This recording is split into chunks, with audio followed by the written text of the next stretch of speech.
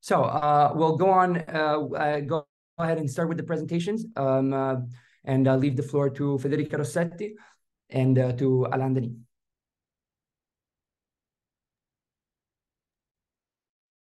Thank you, Lorenzo. And yes, I think we can we can skip this so and go straight because Lorenzo explained us the structure of uh, of today and go straight to an introduction on the on the project, which I have the pleasure to do, uh, and I will keep it very short. So Resistire is a RIA, it's a, a research and innovation action funded under Horizon 2020.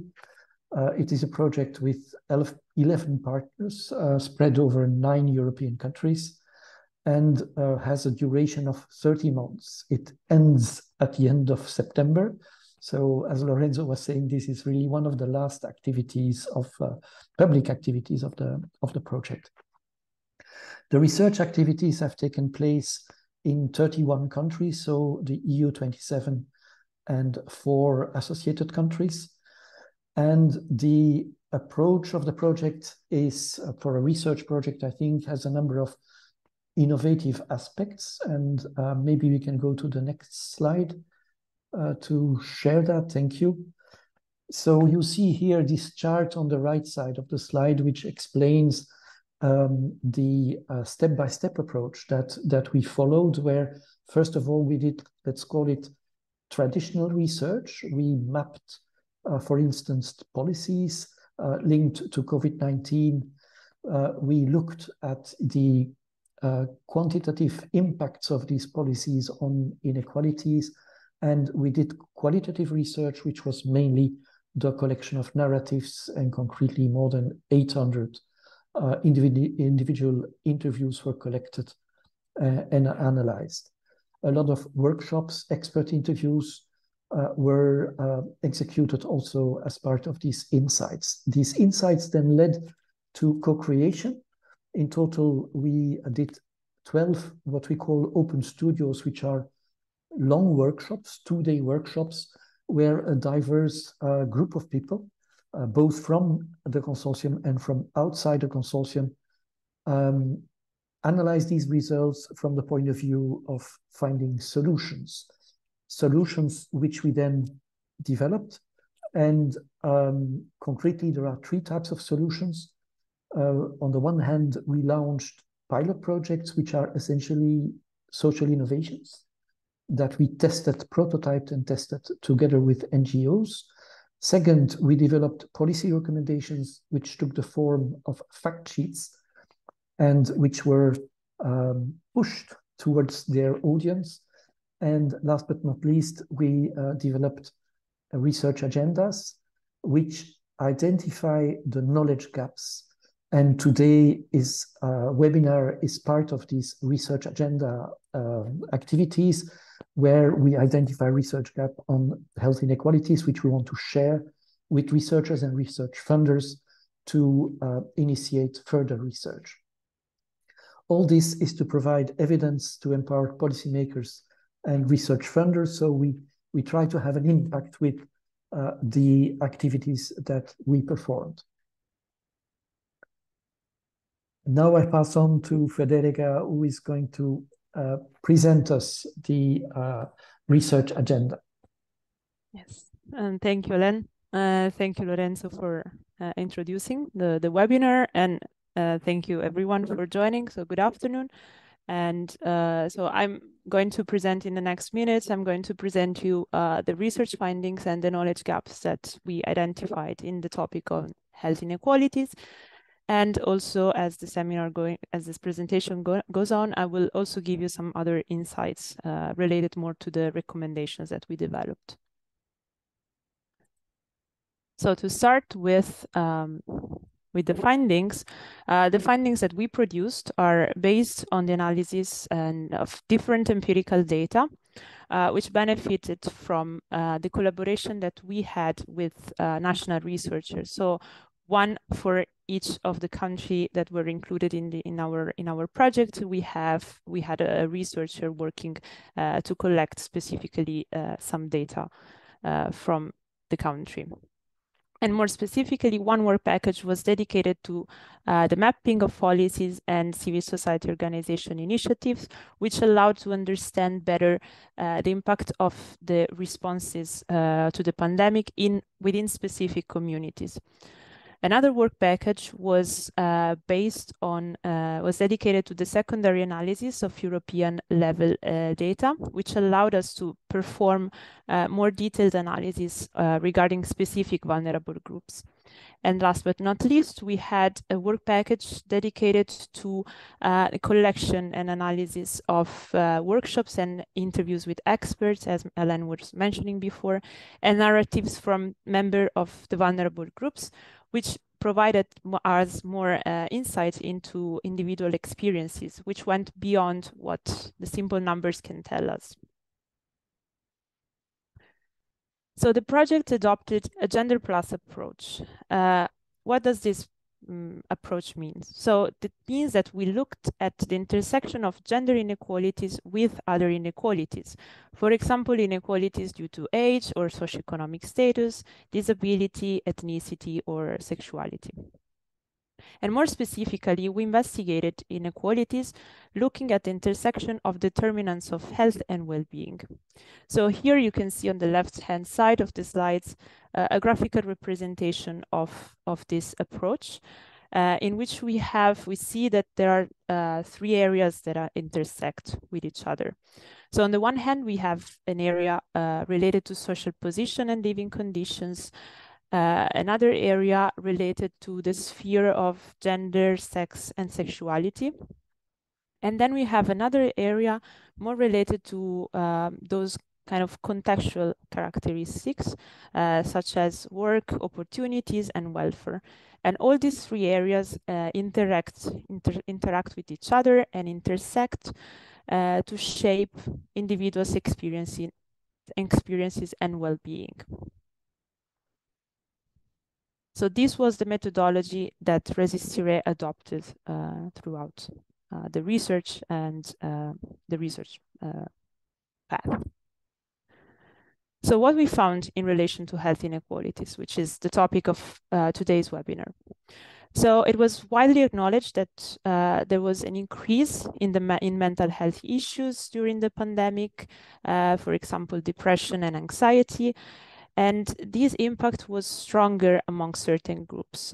For example, uh, young people suffered more from uh, mental health issues. But also we, uh, we saw um, an intersection of two different phenomena. So on the one hand, there was an increase in the, the request of support for mental health. And on the other hand, there was uh, a limited uh, offer of this uh, mental health support. And also we saw that there was a problematic access in mental health care even before the crisis. So in Europe, there is a problem in, in accessing mental health care.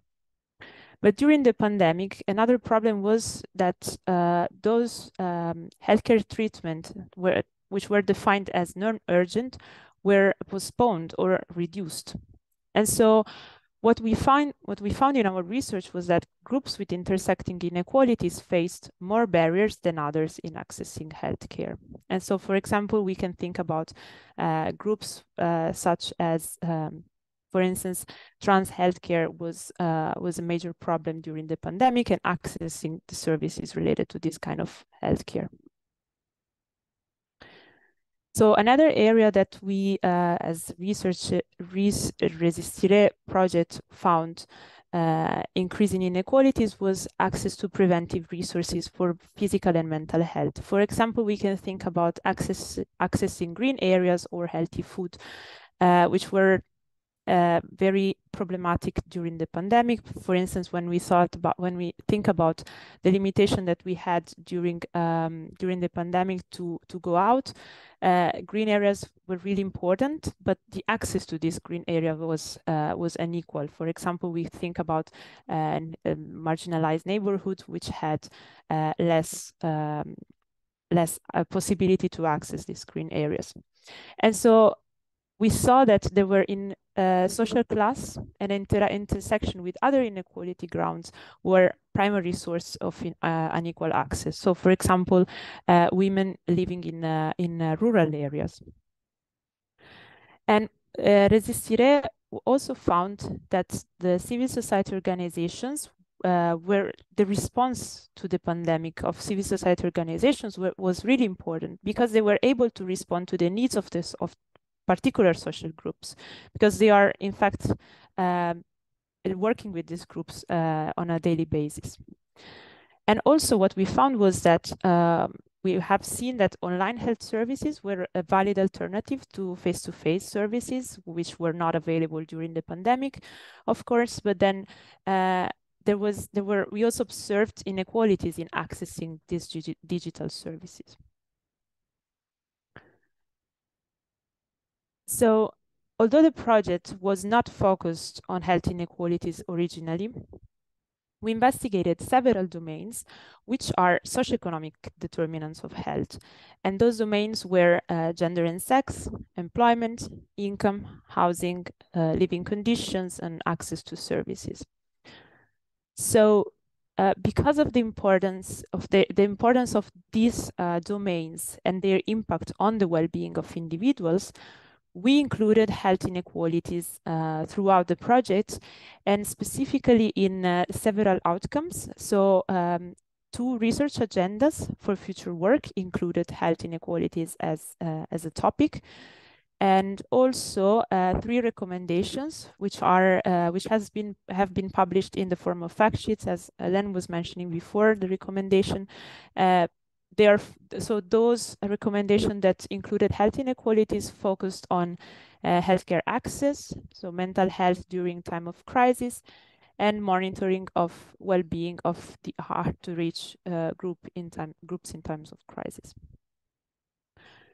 In specifically in uh, today's webinar, we will look at um, at three uh, outcomes among the different outcomes that I just mentioned. Um, one being uh, the research agenda of cycle two, um, which uh, which included uh, some um, knowledge gap related to data.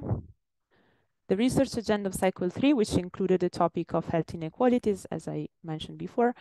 And then the third uh, outcomes that we uh, we will we will see in today's presentation is uh, the fact sheet on more intersectional data.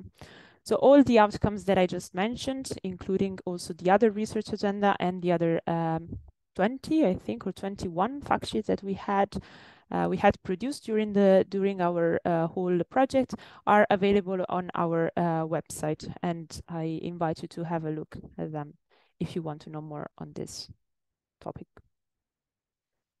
So now I'm going to uh, give you some insights on the research agenda on health inequalities and the recommendation related to, uh, to more intersectional data that we developed. So from the from the in the resist, the agenda that we produced were really rich, and uh, as I said, I mean included different topics. So not only health inequalities, but uh, today I would like to invite you to have a look at some of the questions that we developed in this specific topic related to health inequalities and uh, access to healthcare. So, for example, some of the questions that uh, that came out, so that would need more so that we uh, suggest as a starting point for future research are, for example, uh, if there are special measures needed to ensure the continuation of healthcare services uh, among vulnerable groups during crisis, but also what we have learned from the pandemic in relation to addressing mental health status during crisis. And uh, one of the question, one of the the, the most uh, impactful output that uh, came out from Resistiré was about the importance of local uh, civil society organizations. And so we would, one of the questions that we developed uh, relates to the impact that these civil society organizations have in making preventive resources available for groups in need during the crisis. And also related to the context, uh, we suggest that more research should be done in terms of understanding whether welfare regimes or countries have produced better outcomes in terms of healthcare access. And in relation to uh, intersectionality and intersectional analysis, uh, that is the methodology that we use in the project, uh, we have some questions related to how can we better integrate um, data sets to enable intersectional analysis, but other, uh, what, what methodologies can be used to collect data on more sensitive topics such as uh, gender-based violence. And for instance, uh, what measures should be used to collect comparable data on sexuality and gender identity at the European level. And in relation to this uh, topic, so the last topic that I just mentioned, intersectional analysis, so to be able to adopt the gender plus approach, which is the approach used uh, in Resistire, we should have more accurate data on the European population. So European survey already, uh, European surveys are already comprehensive and provide a large number of indicators to, to analyze. But at the same time, they lack of uh, detail, uh, lack detailed socio-demographic data. So we encounter encountered some obstacles uh, in, uh, in during our research in order to, to, to perform this intersectional analysis, which is the focus of the project. And because data are um, data on sexuality and gender remain largely lacking across large-scale European surveys, they leave behind a significant part of the population. So, for example, uh, we used uh, a data source, uh, which is the Europe, European Survey on Income and Living Condition. So this survey collects data on migration background. They are quite detailed, but they lack of uh, detailed uh, data on gender and sexuality that we would need to perform the intersectional analysis. And so, for example, gender is collected, but is as, as a bin binary variable, so only male or female. And in our research, we used other um, European survey data. For example, Eurofound living, working, and condition, and uh, living, working, and COVID-19 uh, dataset, which was collected during the pandemic, and included this dataset, for instance, included uh, a more detailed categories for for gender, but at the same time it lacks of detailed information on migration status. So we can see that there are um, so European surveys collect data, social demographic data, but not as detailed as it, they, it would be needed for uh, to perform an intersectional analysis. And as a consequence, lack of diversity in European statistics make the experience of most uh, the most vulnerable group largely unobservable, and making also research and policies less reactive to the needs of the whole population. Um, so, as a consequence, um, because the, the limitation of the European datasets, uh, we would we were able to develop a set of possible recommendations which can improve the ability and access accessibility to intersectional analysis. So I'm going to give you some of the some examples of the recommendations that we suggest we developed and we are suggesting. Um, so one is develop a common uh, European framework for the collection of social demographic data. Uh, second one is uh, to collect and report data on sex and gender identity identity in a systematic way. The third one is to provide harmonized indicator that can be used by researchers to analyze inequalities at the European level. And the third one is promote intersectional analysis within Euro official European statistic, which would allow to facilitate a better understanding of the cumul cumulative disadvantages experienced by vulnerable groups and would encourage researchers to conduct similar analysis. And the last one uh, is to promote, strengthen, and innovate the use of statistical disclosure control at the wider European level. So this system, this system, uh, it's a system that ensures the data protection of every survey respondent and anonymity in their answer, and give data providers control over uh, who has access to this sensitive data. So these are just some of the recommendations that are included in the fact sheet that I, I mentioned before on more intersectional analysis, intersectional data and analysis. So I would invite you to to have a look at the, the, the fact sheets so you can find more information on this recommendation.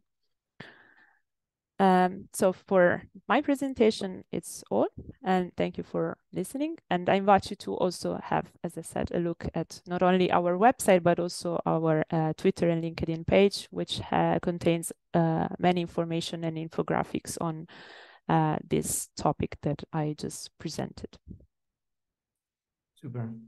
Federica, thank you so much for for that presentation. I think that um, uh, uh, I'll transition through uh, reaction to of our invited panelists also to introduce kind of the idea of these webinars, as in that um, Resistorate uh, developed over over these uh, um, months as uh, um, and with the production of new research and new um, uh, results from our own work, um, uh, sort of ignited or fueled the uh, research cycle afterwards. And uh, this happened three times.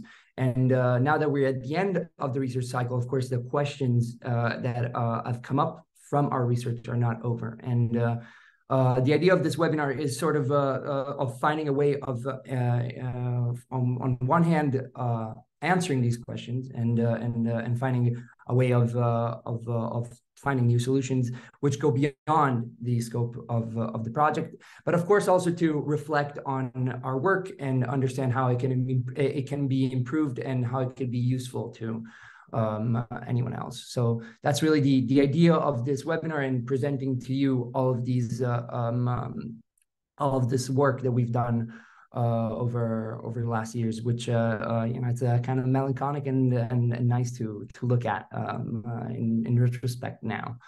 And um, uh, I'll also mention that this presentation will be shared. So all of the links that uh, Federica just mentioned uh, will be easily accessible through the presentation. And um, um, before opening up to the panelists, um, I'll, I, I, I want to ask if there's any clarifications regarding resistor in, in, in, in particular or the work that we did. And uh, of course, I also remind everybody uh, the, that's participating that um, there's be there'll be question and answers at the end of uh, of the webinar, and you'll you, you know you'll have a, a, chance to ask whatever you want um, afterwards. Um, I, I also asked if there's questions. I have no idea how to check if there's questions. Um, uh, so uh, uh, Claire and, and Vasia, I, I remain I, I recall to you uh, to to let me know whether anyone has raised their hands or uh, or is shouting anything. Okay. Otherwise, um, I'll give a very quick um, uh, introduction of, uh, of our panelists, but I'll then let, let them introduce their work and uh, their institutions themselves.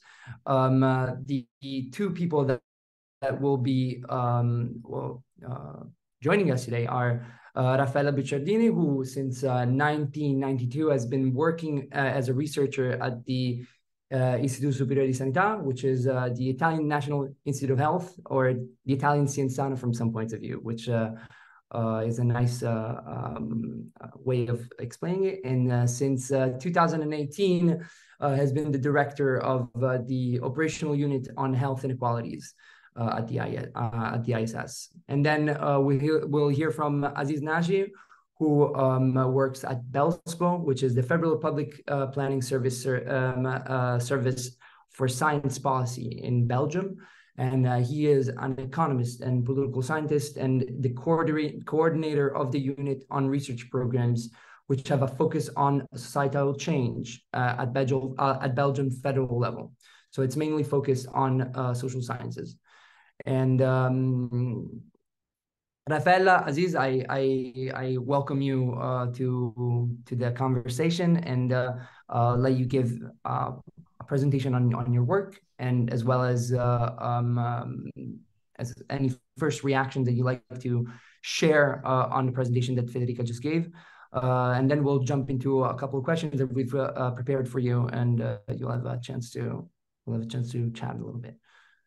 Um, so I I go in order of the of the of the people that I kind of see in my screen. So Aziz, I see you uh, right on my right. So if you have any uh, first reactions and if you give a quick okay i thought it was ladies first but i'll i'll i'll, I'll jump in sorry federica uh, raffaella um, okay i'm aziz naji i work at belspo belspo is a research funding organization at federal level. We are a federal administration. We are not a classical science foundation that's more in the hands of the communities. You know them well in Belgium is FWO and uh, FNRS.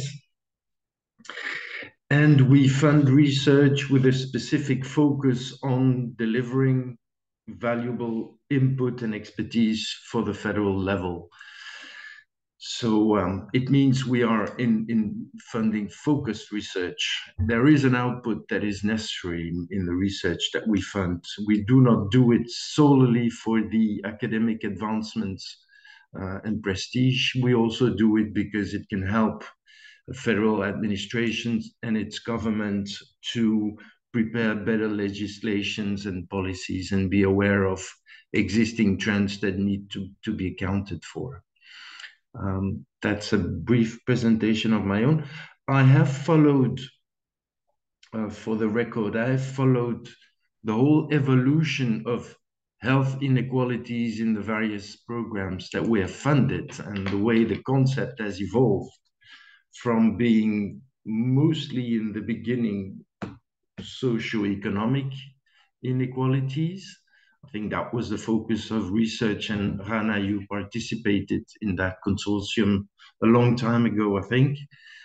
And it evolved um, slowly but surely to peak uh, to peak in what Resistiré is doing is is really to look the intersection of as many possible determinants of health inequalities as uh, as possible age gender sexual orientation uh, migration background race um, or ethnicity and stuff like that. So I think it's it's really um, a huge achievement and uh, a sort of peak in the way health inequalities are conceived today. Thank you. Super. And uh, Raffaella, please. Oh, yes. Thank you. Good morning, everyone. And thank you very much for inviting me in this is very important uh, and your results of your study. Resistor or res resistor, the pronunciation of your project? It, it varies, yeah. okay, okay. So um, let me know if you think that it's, uh, it's better to follow uh, um, some question. So in this way, I can answer you in more specific way, or you prefer that I speak in general what we are doing or my my thoughts about the health inequality challenge. Let me know what you prefer, uh, Lorenzo. Yeah, for now, just uh, just uh, an introduction of what the ISS does, so where you work, and uh, if you have any first uh, reactions to to Resistiré, then we'll we'll ease into uh, a, a, more uh, panel discussion and uh, more structured questions. Okay. So just, yeah. Okay. Okay. Thanks. Uh, yes, in ISS uh, we have been um, decided to do in the in 2000 in 2018 a specific unit is a cross sectional unit. That means that different researchers uh, that come from different backgrounds and expertise work together uh, on uh, health inequalities projects. We have different projects, both at the national level and a lot of international level. So according to the specific project, is my task to put together the different expertise and working together. So uh, at the during this webinar, I can present to you uh, two uh, important projects. One uh, has ended uh, last year and one is going to start. And a very important project because involve a lot of the countries. So I can explain more about this project if you want at the, at the, at the end of this webinar. Super, fantastic. Thank, thank you, Lorenzo.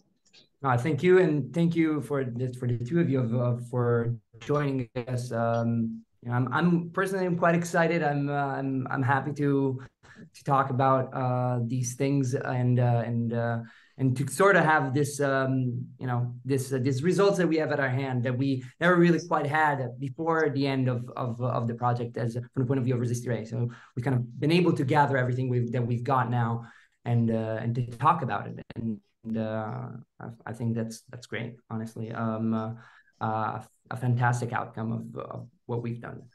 So well, I'll, I'll um, I think that I'll, I'll, pick up exactly from what you just said, Raffaella, and of this work uh, related to this cross-sectional unit uh, at ISS that's doing work on health inequalities. Uh, because as, as Federica mentioned before, um, health inequalities were not an outcome that we initially necessarily investigated. So we investigated um, um, what are determinants of health and what are determinants of inequalities, but never um, what these uh, uh, inequalities were doing to the health and well-being of people. And uh, that really came into focus at the end of uh, of our of our project because uh, um, in some ways it became so so important and so central in in the work that we were doing from the quantitative um, uh, analysis point of view that we sort of could not um, let it behind.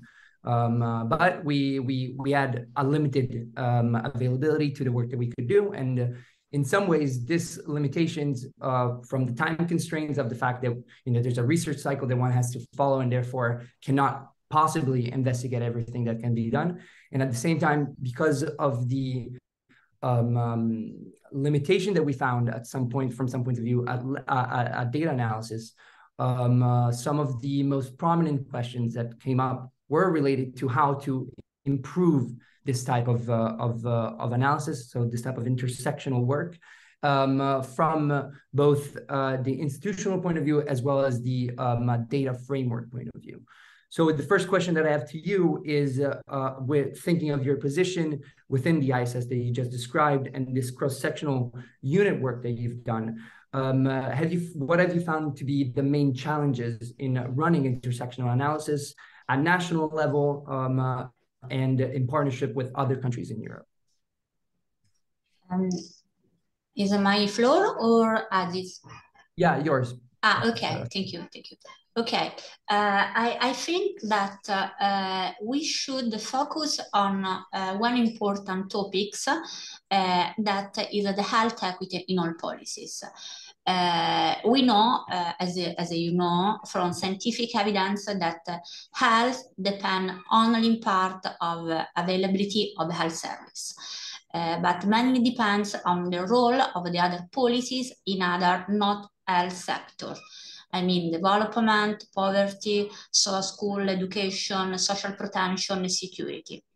And this important fact was also um, highlighted during the, the COVID-19, uh, the importance of health equity in all policy has been clear showed during the pandemic. Uh, in this context, uh, the collaboration between all health and non-health stakeholders is essential in, uh, and this also represents our main challenge.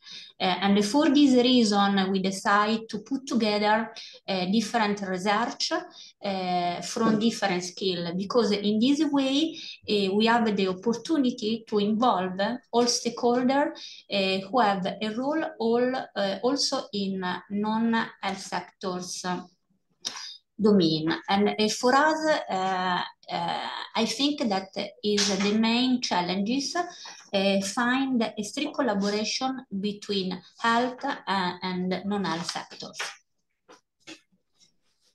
Super, wonderful. I, uh, and uh, you know, you mentioned uh, um, health in all policy, which also I, I also speak from the point of view of of the Institute of Health Equity of, of UCL, which has been uh, very forward in in proposing this work, uh, as I I know you you know, and uh, you know it's interesting because uh, Resistiré from some points from from various point of view did did expand the idea of health in all policies without really uh, ever um, um, calling it health in all policy, but. Uh, um, but uh, that's a, a, very interesting uh, uh, point of view on on the on the challenge of finding collaborations, and I think that transitions well to um, a question that I would like to ask to Aziz, uh, which is um, the obstacles uh, which uh, you've found in funding projects which are related to intersectional analysis.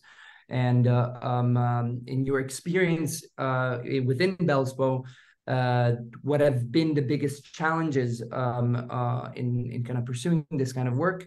also, taking from the point of view that you've seen the evolution of what we mean with health inequalities um, uh, at federal level, but uh, inevitably also at European level. Yeah. Um, I also participated in a in a kind of um, internal process together with UNIA, who was trying to to to pick up intersectional data uh, in Belgium, and they stumbled against the same limitations. Uh, sometimes you have gender but not migration sometimes you have the opposite and you you, you can't really find a source where everything's available. Um, and it's also due to the fact that uh, there is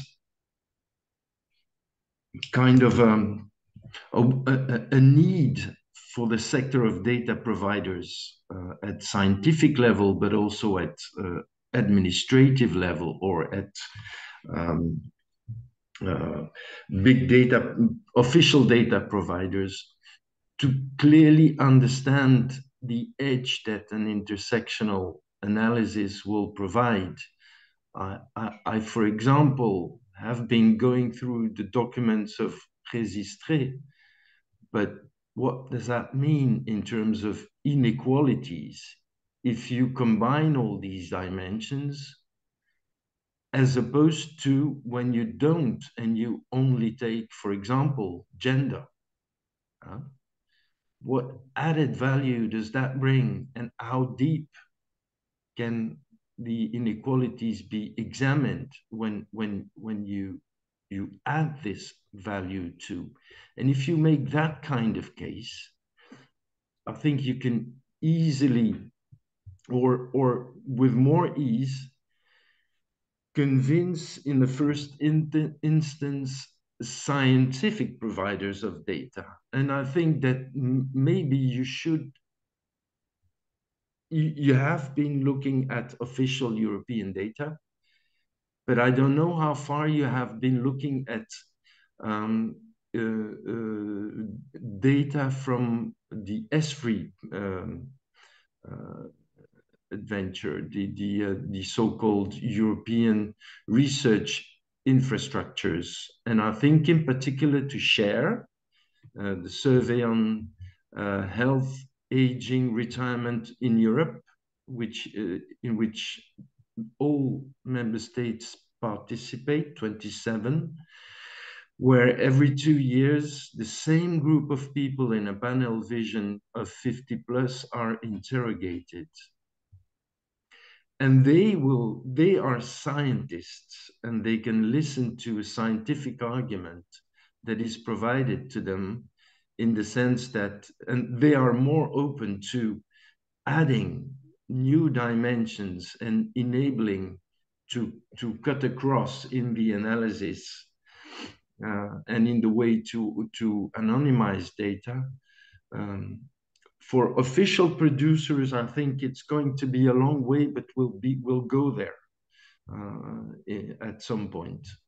But the case to be made, I think, in, in, in, in this project would be to pinpoint exactly what the added value is to to to to add new dimensions in in the analysis rather than to stick to the classical male female uh, division of data.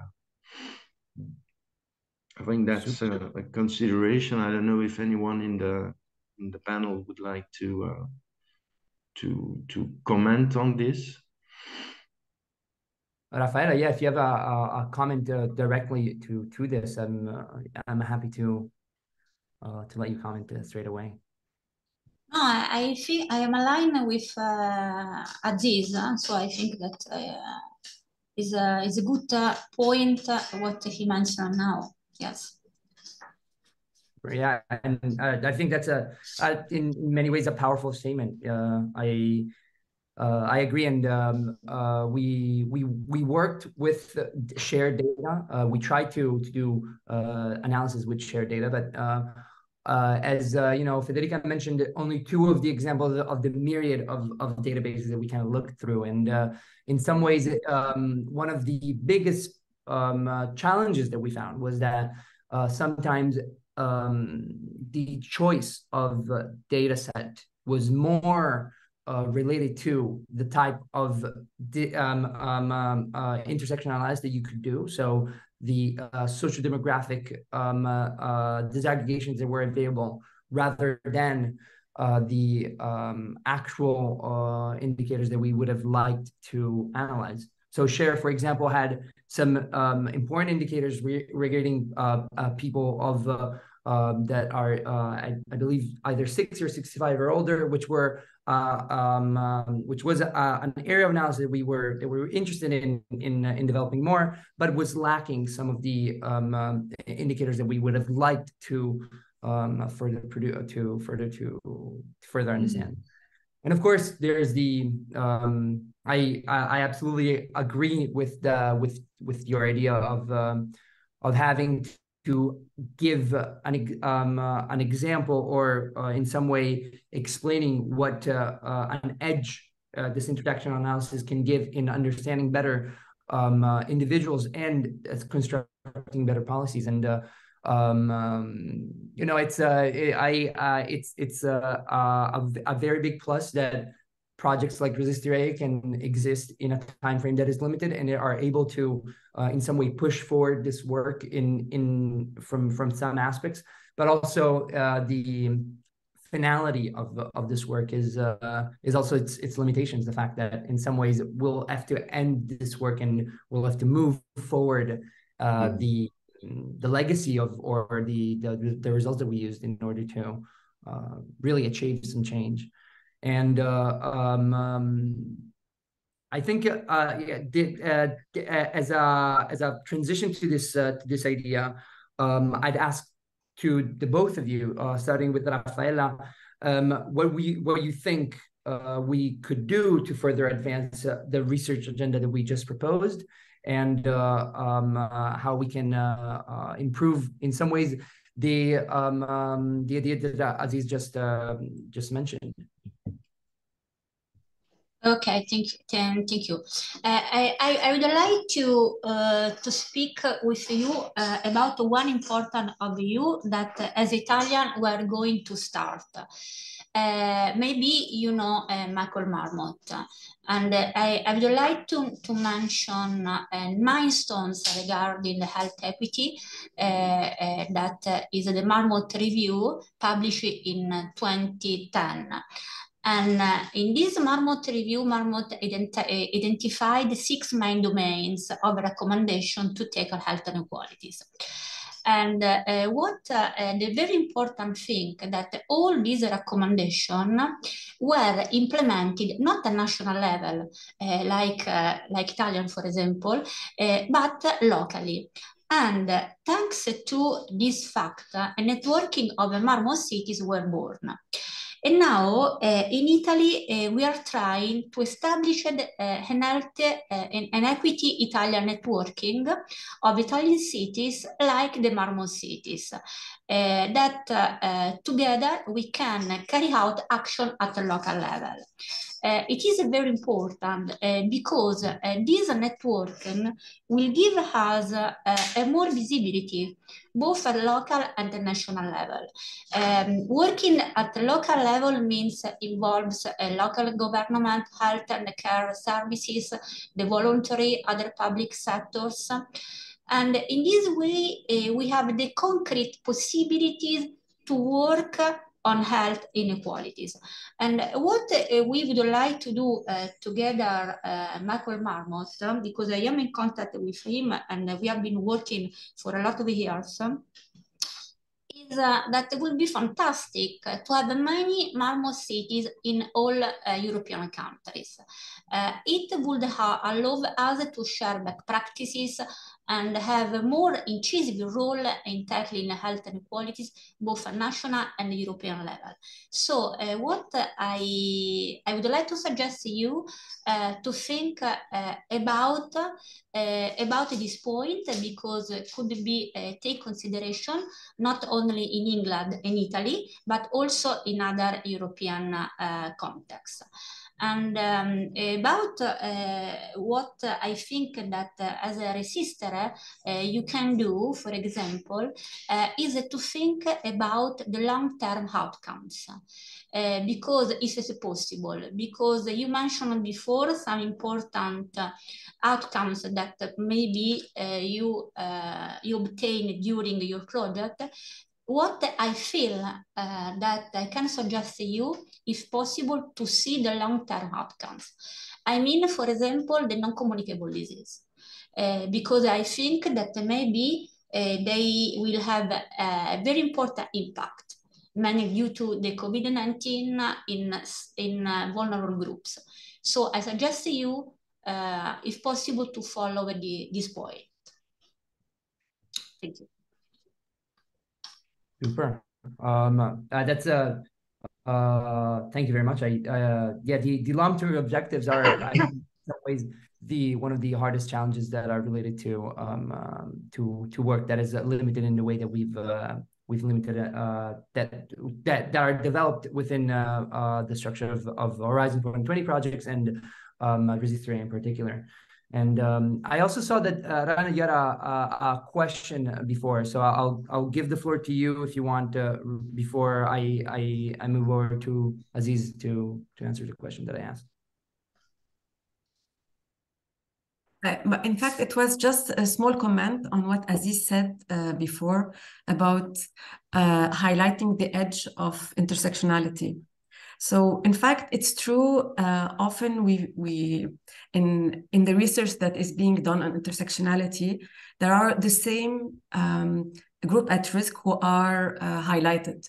So it's the same young, um, low SES, etc. So you you you would think that it would be the same information repeated again and again. However, I think what's very interesting in intersectionality is a situation where you highlight groups that were under the radar. So there are situations where you have, uh, when you have enough data, um, then you can find, for instance, a group, low income, you know, high income young women who might be more at risk of taking a drug, for instance, in the US. And this is a group that you wouldn't have thought about if you didn't look at intersectionality. Mm-hmm. So I think this is the idea what uh, could really be important uh, in addition to all the things that we, we, we see usually. Thank you. I think making visible the invisible under a lens that is too gross uh, is really the challenge of, in, of, of proving a case, I think.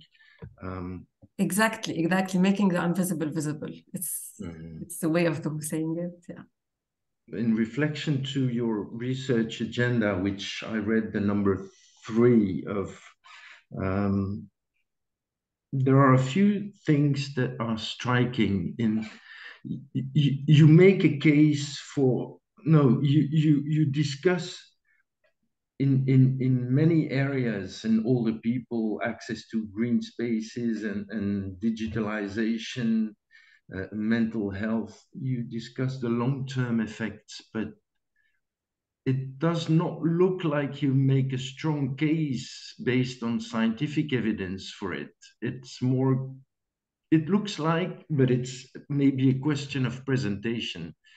It, it, it looks like curiosity driven agenda at some point. Uh, for, for other points, I'm totally convinced that we need it. And we, we have launched this year a program on, on post COVID and lessons learned for the, for the government. And that work, plus the work of Resistiré and the work of other research groups that are outside the program, will feed a document uh, as lessons learned for the future government. But in, in a sense, the research agenda should be kind of more making a case and substantiating on the basis of scientific argumentations that long-term effects might exist and need to be further researched rather than what are the just instead of just raising the question in raising the question you you can have the tendency to believe that it's curiosity and you're you might not be inclined to uh, pick up on the question because it it, it's not substantiating substantiated by by by evidence. Huh? You, you, you, but but maybe it's a question of, of presentation. Another question of presentation to make a stronger case of this research agenda is to kind of put the COVID element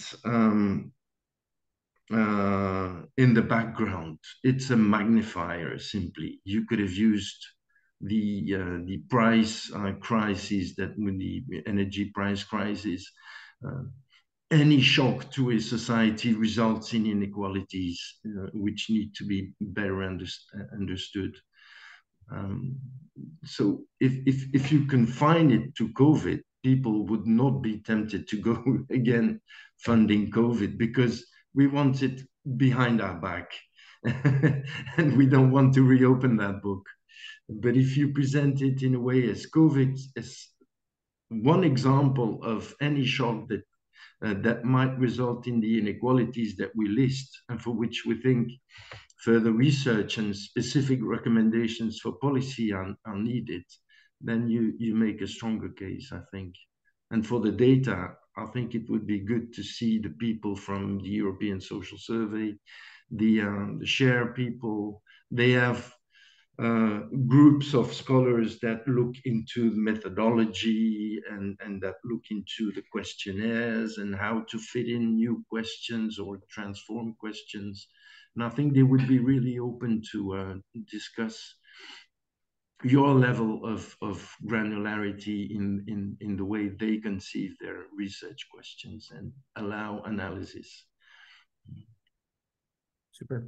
Uh, that's a fantastic comment, and uh, um, I'll I'll answer to uh, to the fact that I um, I I think that you you rightly pointed out that some of the questions that we've uh, that that are discussed and, and developed within the research agenda are in some way curiosity driven and i um uh, i don't know if, if, the connotation that that uh, of of uh, of this um of this um of this phrasing but i i see it as uh, as uh, in some ways one of the strength of uh, of the uh, multidimensional and multi um, uh, disciplinary approach that uh, has. Then as now right now um, Federica and uh, and myself and, and Rana are talking uh, and uh, we were all uh, very much involved in the quantitative analysis of this work. But that's one of the uh, seven work packages that sort of uh, analyzed um, um, the the crisis and, and, inequalities from different perspectives. So there are some questions that are driven by our work and our research and those um, are found maybe um, more specifically related to uh, the work um, that we've done with the data. And there are some that are um, uh, that spark from uh, interviews with uh, people, with uh, from uh, um, work with civil society organizations, and work on the on the ground that um, are, I think, more curiosity driven and mm-hmm. are more based on the fact that maybe we had some observations that were related to the situation of someone and um, um, and just asked uh, generally, oh, maybe uh, you know what what what what happened here, and uh, how can we improve it in some way. Um, um, so I agree, and uh, and uh, um, the ambition and and of of the of the work of Resistiré was in some ways the fact that it wanted to be multidisciplinary, that it didn't want to have only a lens um, uh, that was uh, the, the, the, common lens being the gender plus approach, but this gender plus approach is really morphing into different realities in the moment in which you uh, look at qualitative work or quantitative work. Okay, can I pick up on this discussion? And, and Raffaella, I will link it to a question to you.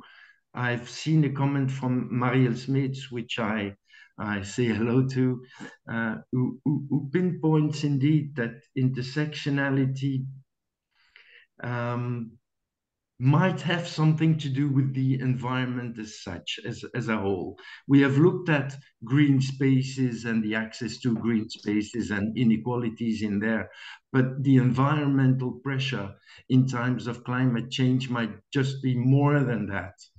And, and beyond uh, sexual orientation, access to employment, social services, uh, household elements, and, and, and things like that. The environment needs some kind of um, philosophical or theoretical thinking on the way it pressures people differently, um, which which is something we strongly believe in. I think the IPCC reports point in that direction, but intersectionality accounting for a dimension that is environmental uh, would be um, a good way forward. And I don't know, Raffaella, if, if in your uh, unit you, you you kind of integrate that that uh, uh, that dimension.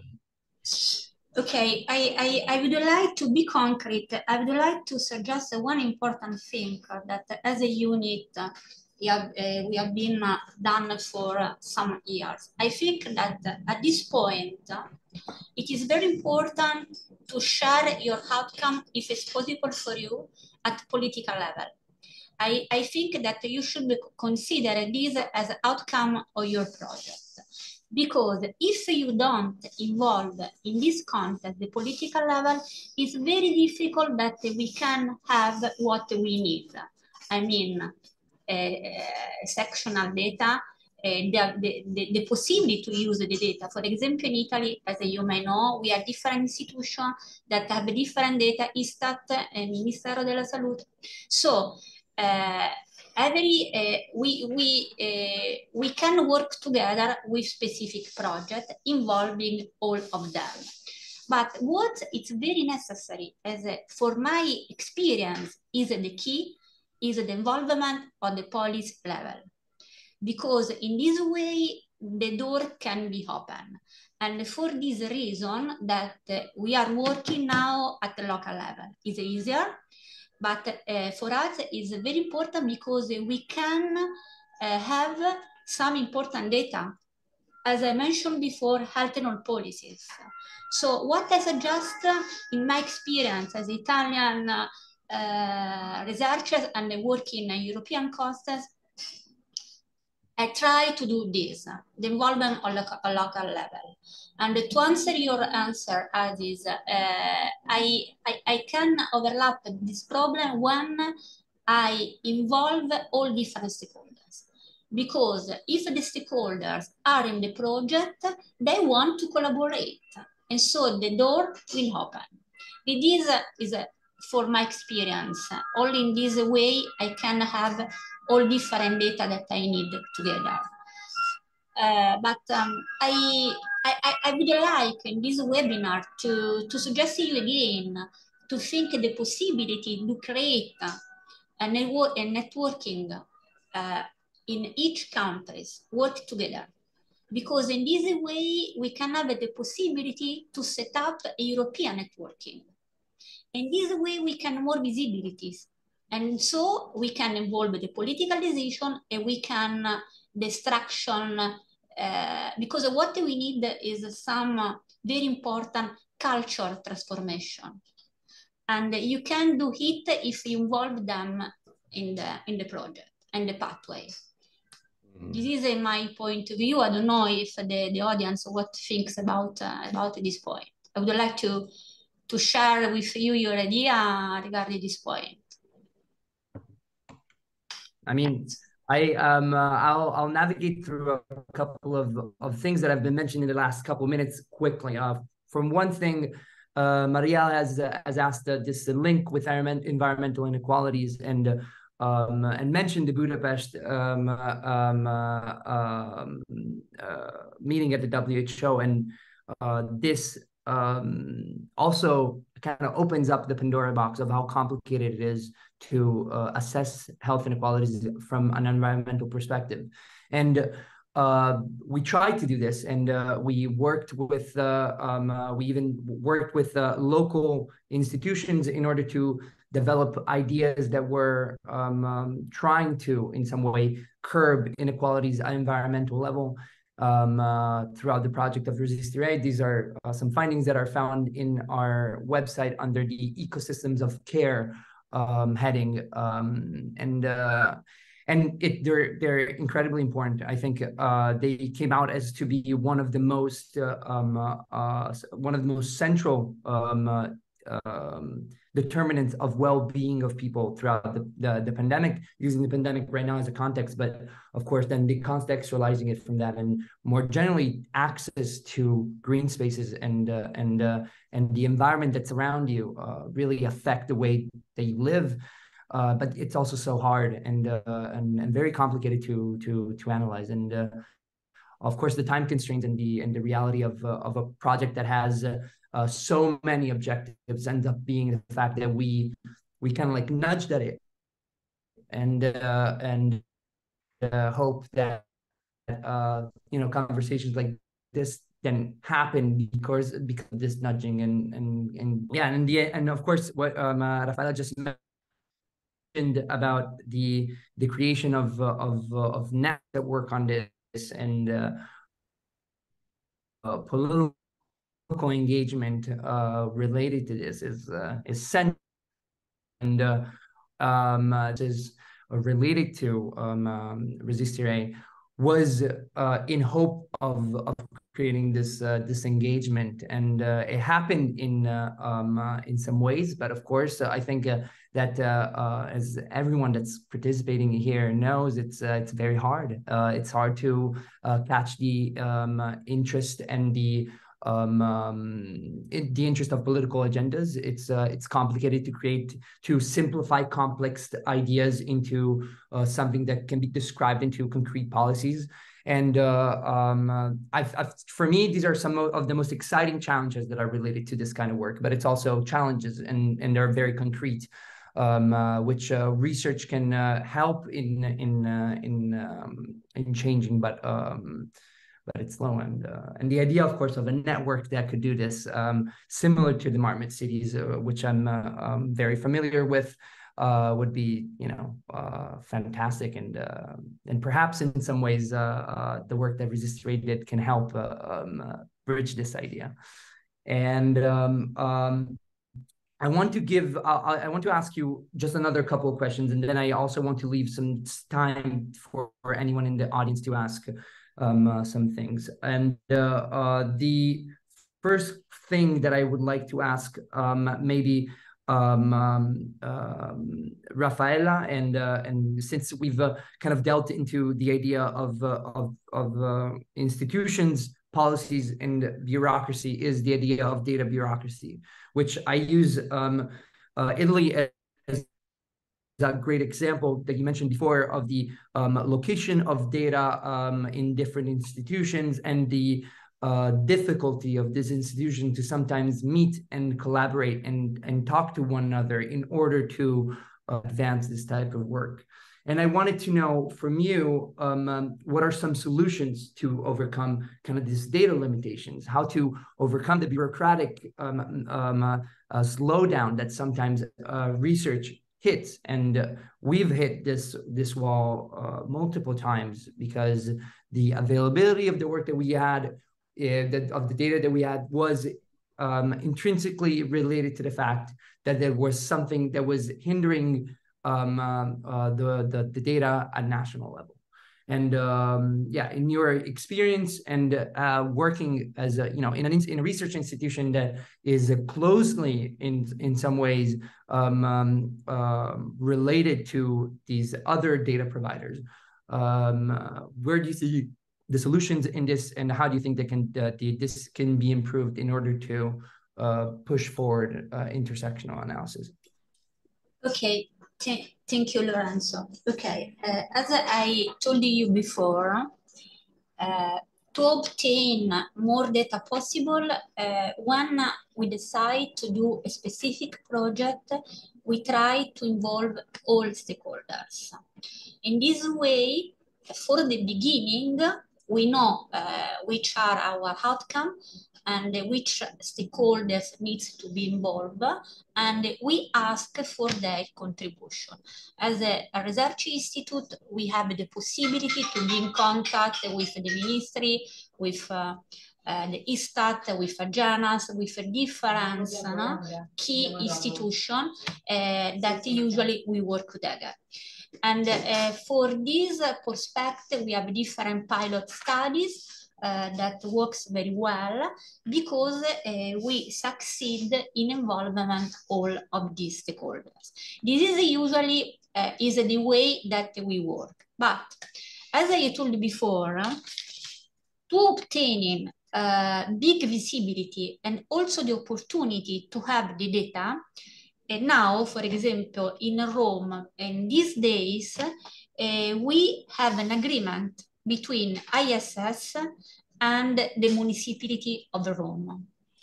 Because in this way, we are going to work at local level uh, using the health equity audit and the health equity impact assessment. Um, our, our, our our task is the research task, no? So uh, we, at the beginning, we have the design of the situation. We decide together which action we can implement to tackle health inequalities. We are going to monitor them at the end to evaluate them. At the end of the history, we have the scenario, uh, if the action will work or not, and we are going to provide this information to our local decision makers. This is, is our cycle that, for example, in Roma, we are doing now.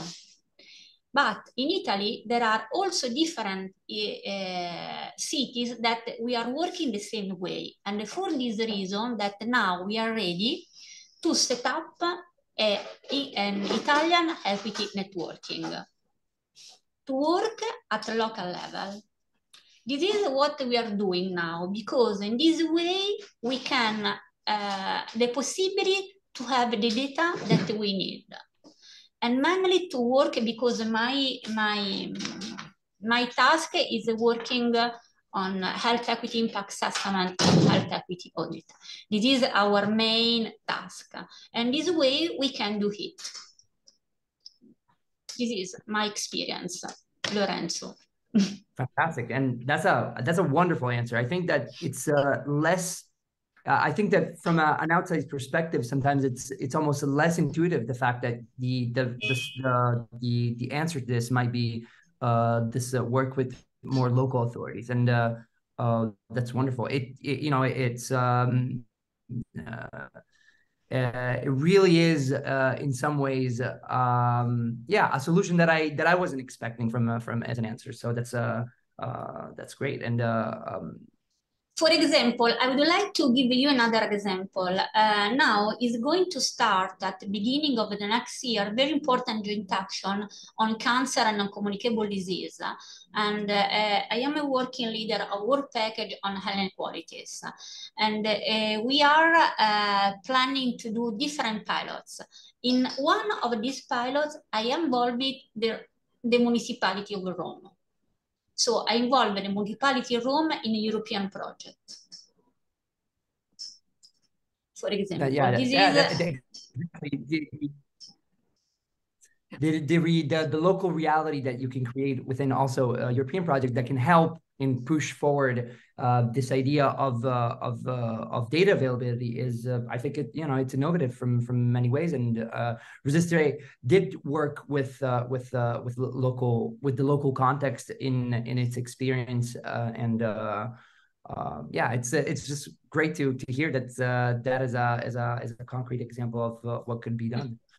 So, sorry, I just want to interrupt because I know Lorenzo, you're not seeing my hand. Um, just quickly to say that what we have done and what we have found in uh, Resistiré really um, is in parallel to what Raffaella is saying. This is a project was on the European level, and we really were interested in European data and uh, everything European. However, one of the main finding was that the importance of the work of local organizations. And one of our pilot projects that were the most interesting was about the uh, ecosystem of care that really is putting all stakeholders around of one problem uh, in, a, in a specific municipality and working on it together. So I think it's really, really reflect the importance of the local level as well. Uh, yes, uh, but for example, uh, we uh, I was coordinator of the past joint action JE. I don't know if you know uh, joint action Health Equity Europe.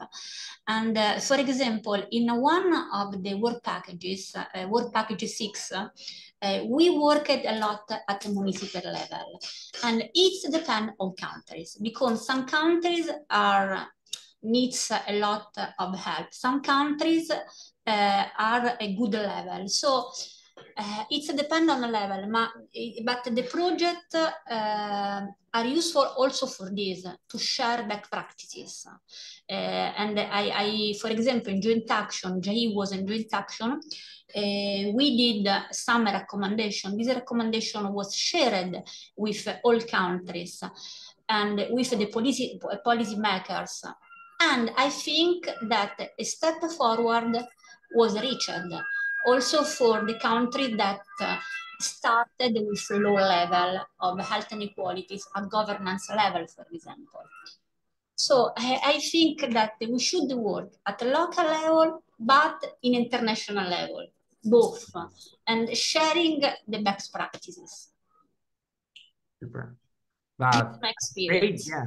A great point to to take away from this, absolutely. Um, um, a fantastic example. Um, yeah, uh, Aziz, do you, um, uh, I think that that transitions well also the, on on the type of work that you've done. So uh, I think that uh, if you have any reactions directly related to this idea of uh, uh, contextualizing and involving the local level at more intersectional and a more international level. yeah. I, I think it's like for any new scientific dimension to, to, to diffuse into bureaucracy, it's a long process. Uh, look at gender. It took many, many years before finally everyone's agreed on the concept and the necessity to have it. And and now, uh, or climate change. It took how many COPs before, before the the the the idea diffused in the general public and and politicians to a lesser extent. So it's a, it's a process. It's a process in many ways.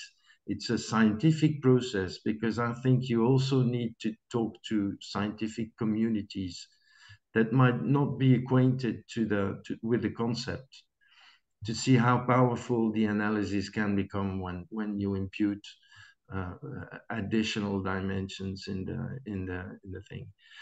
Um, so at scientific level, it's important. And it's important also for research funding organizations such as mine, where the concept starts to exist, the name is circulating, but we really don't know how to concretely impute that in our research goals. Uh, how can we can invite research teams to adopt such a perspective so, so again, like Raffaella said, you need to involve politicians, and if we are politicians, then we would like to be involved in in some form of of um, knowledge sharing uh, on, on that part. Um, and and so the scientific community, research funding organizations, uh, local level and involvement, as Raffaella said, is, is key. Uh, if you involve, you then really see on the field what it what it happens when you when you go that route. and it might be at the top level, at the, the bottom level, at municipality, at, at, the, at the level of a federal ministry whatever, but you need to make a, a strong case uh, and and long discussions before you can be convincing. Don't. It's frustrating, but it, but it's that's the way it works. Unfortunately, uh, bureaucracy is like a sleeping dog. You kick it, you kick it, and eventually one day it will, it will wake up. Good, yeah, good analogy and good and uh, and, uh, and and fantastic point. And uh, I think that I, I, I see that you both are talking from some point of experience and some point of the of you have a, a reference in in uh, or uh, in in your head of of of projects that have done this. So um, I I'm also very happy to welcome you to present of any work that you um, uh, think that have uh, that have achieved this uh, this type of work that have done um, um, steps forward in uh, in, um, in, in advancing uh, intersectional analysis or um, anything that you'd be interested in in, in presenting as as good examples.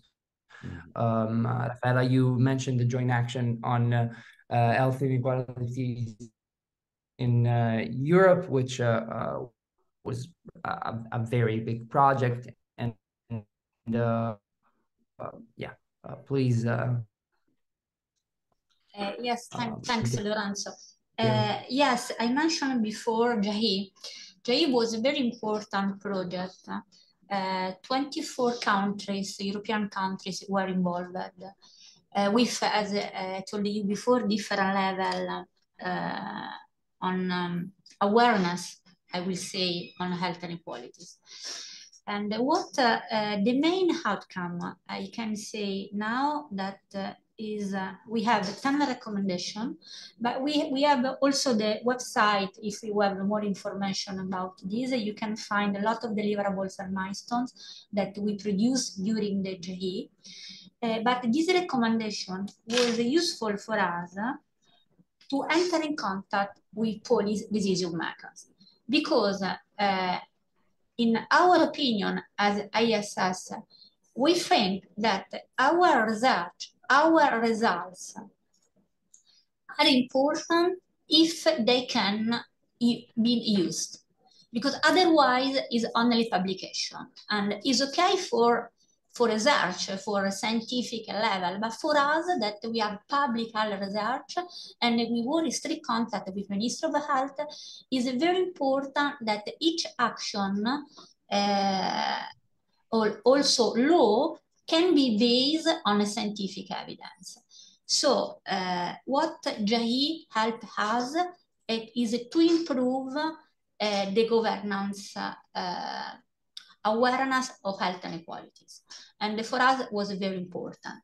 Now, uh, I would like to, uh, to tell you about another important joint action, as I told you before, is regarding the cancer non-communicable disease. will start four years. Also, in this case, a lot of uh, European countries are involved.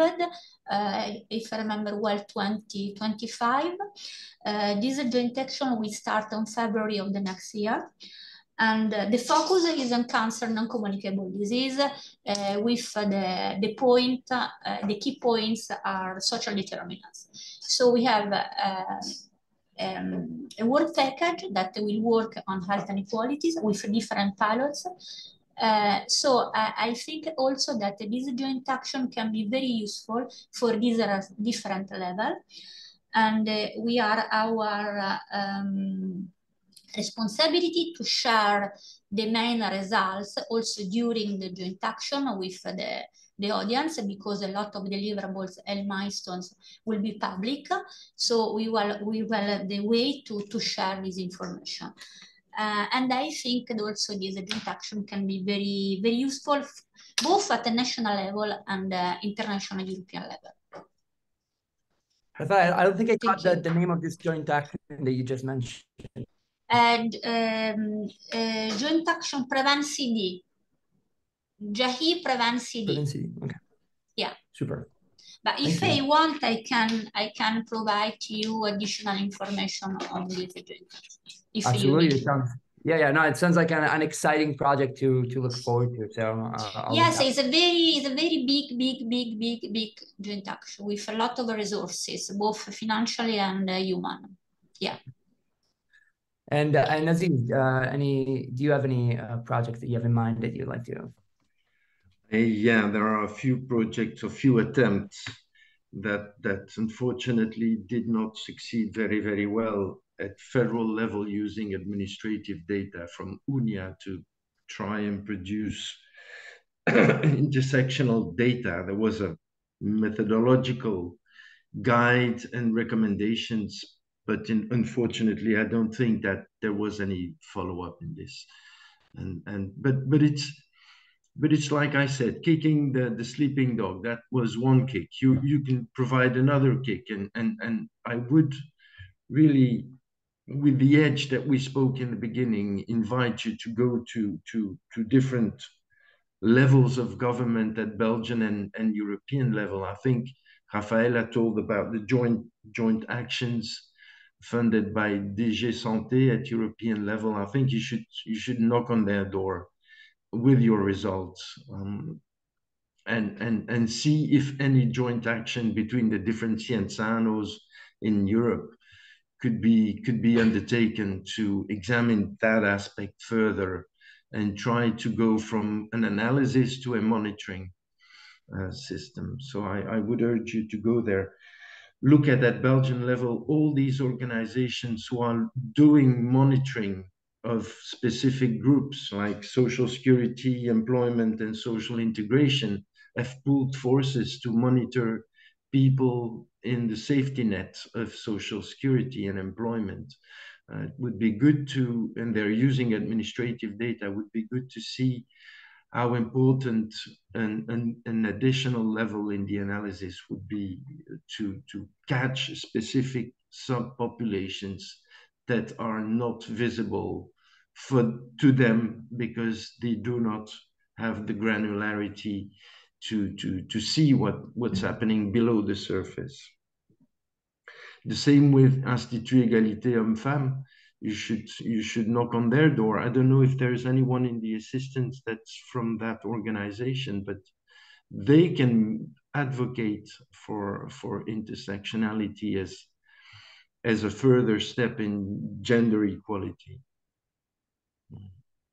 Super. Yeah, that's um yeah, that's that that those are uh, I I think great points of reference to to the work that the that hopefully the the results in some way of Resistiré can do and uh and you're you you you're right you know it's um it is I think one of the one of the the biggest results also it at Resistiré level it's that it has been challenging to kind of kick and uh, and uh, and find a way also to knock on the door because it's not as uh, as straightforward sometimes as it seems.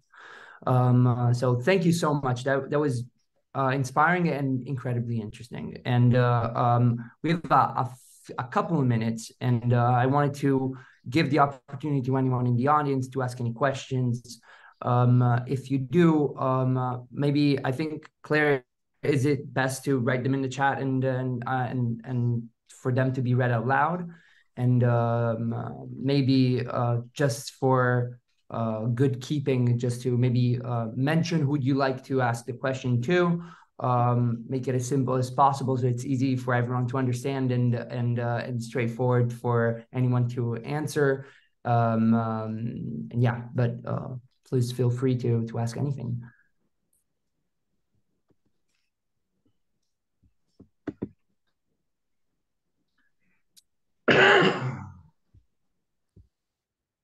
or not specifically in the chat, huh? You can just uh, or yeah, you can just yeah, you can you can just blurp out if if you if you if you prefer. Absolutely, there's no.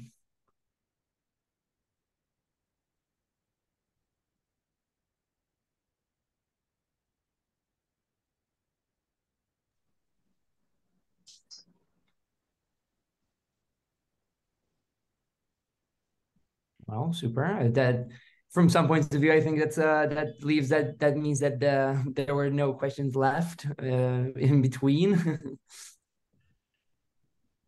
or uh, of course, uh, uh, in, you could you could you could invite people more directly to to to react. For example, if I'm a bit naughty, and and I would address Paul Geritz, who was in charge of reforming mental health in Belgium. Um, would you do the same reform now that you've looked at the Resistiré uh, information and that the COVID crisis has passed? Or would you tweak it here and there and, and readjust uh, the general sense of the reform? Yes, to be honest, uh, I, I find the results very general and I think also, bef also before COVID, we know there is a need on more intersectional data to do on good policies. And it was also, also before the COVID crisis, it was normally that the inequalities will be increased after the crisis because they take only very general policies. Hmm? Mm -hmm. yes, we need more intersectoral data, but there is also a legal framework that makes it very difficult to, to collect intersectoral data. And intersectoral data doesn't also mean that people of different sectors and administration should be work more together from the beginning. And that costs time. That costs more time in the beginning. Mm. And that means also more human resources. That uh, that's a fair point. I uh, I would counter argue that um, if one also only stops in front of the fact that uh, we already know that there's a problem in intersectional data and it needs more human resources, then the problem is never really addressed in some ways. So yes, absolutely. And uh, the idea of a project that is wide ranging cannot be um, um, to be specific in any of the of its results. Uh, but at the same time, one cannot stop in front of the fact that um, uh, the problem is uh, a, a, complex uh, and bureaucratic uh, legal structure. Um, because intersectional data and the importance of it has um, not also not only been already explored in other countries and shown incredibly important results, uh, but it's also um, a, a, hard fact, as in there's no questions that um, uh, social and uh, uh demographic uh, attributes and situations are affecting people's health and well-being, and therefore, um, if one doesn't push forward, then it never has the opportunity of of of changing things. Maria, I see that you have your hand raised. Yeah. I don't know if you, yeah. Yes, thank you. Maybe to complete to discuss with uh, Aziz about the uh, difficulties and also Paul difficulties about indicators and data for uh, intersectoral. Maybe one in Belgium, one of possibilities is the Interfederal Service for Statistics where and uh, where the plan bureau is also busy coordinator because they are work, working on the uh, indicators for the SDGs and the target of the SDGs, where you have a lot of links with health inequalities of health links. And there you have the different institutions, as, he sp spoke about, UNIA, uh, gender and inequalities, uh, Center for Equality between women and health and men.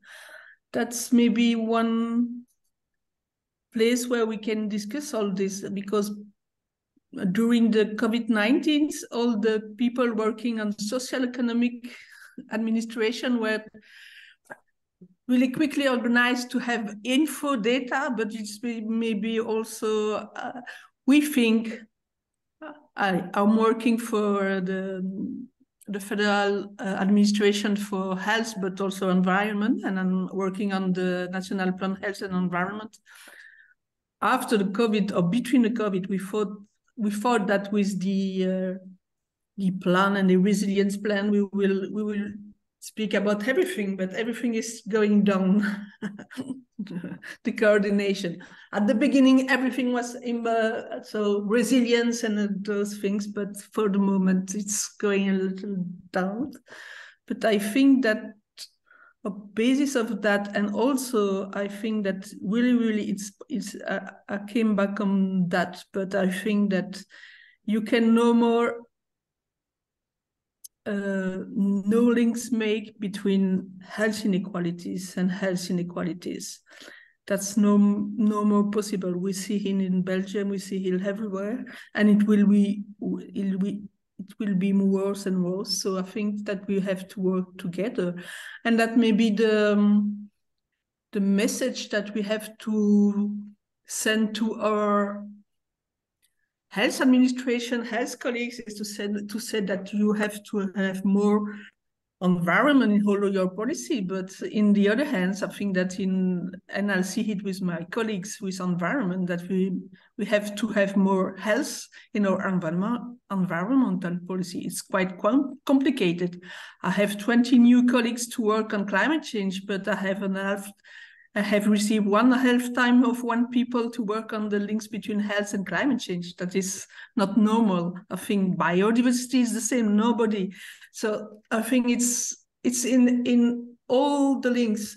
And what I say also to my colleagues because I see it in my administration after COVID-19, everybody is working on new plans, crisis plan, uh, emergencies plans, and but they are only working on how to react if it come back but they are not working on how can we do it for that no, no, more happens. So working on biodiversity biodiversity crisis climate change and dealing with all of that. And i think that it's maybe we have a colleagues but we have a new now a colleague who is working on specialist in uh, change of behavior is working on our communication for the moment. Is working of the IMA communication, so the uh, the use of antibiotics. But I think that is quite important to change maybe the way we we speak about the the things. That for for example, for the people working uh, on climate and biodiversity biodiversity loss, if you put the health problematics in in priority, I think that the people will be more more it will be more easy for people to understand and to change their behavior and to to respond of these problematics. And because they are more there's something that touch them more. So that's just something that uh, the one health approach and, and and all those things is really important.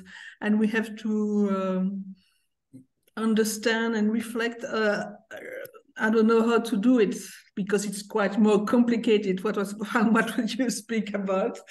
But the methodology and how to do it. But I think that it's it's really linked. We cannot do the one without the other, the one without the other. So that's was my my reflections.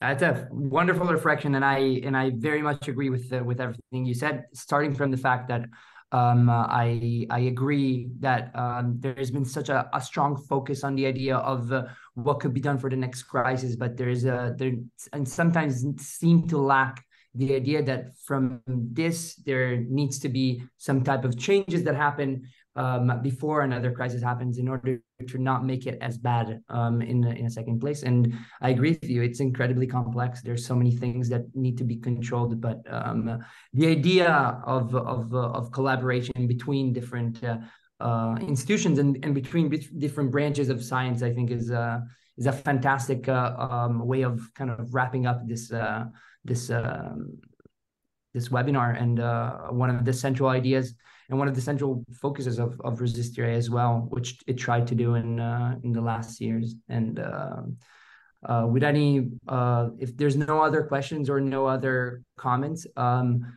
thank you very, very much, uh, Raffaella. Thank you very much, um, uh, very much, Aziz, and um, to and to everyone that participated and kind of gave their reflections in this panel discussion.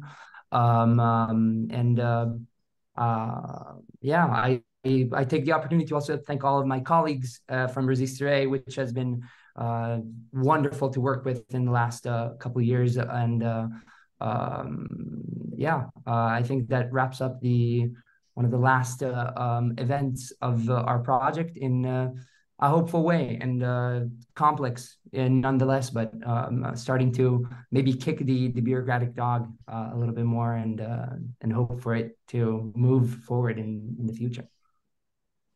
Mm-hmm. Thank you. Thank you. Thank you so much. Bye bye. Thank, Thank you. you. Bye. you. Bye bye. Bye bye.